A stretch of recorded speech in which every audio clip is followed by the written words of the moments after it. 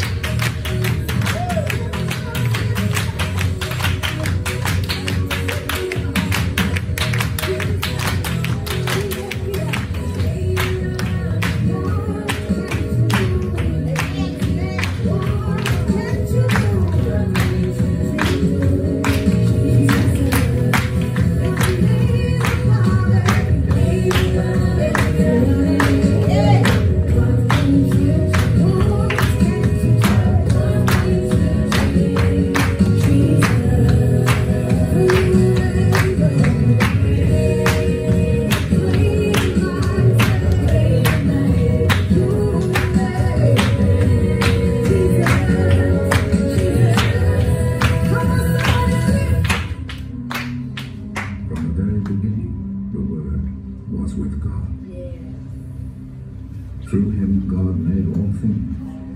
Not one thing in all creation was made without him. The Word was the source of life, and this life brought light to people. The light shines in the darkness, and the darkness has never put it out. Amen. Amen.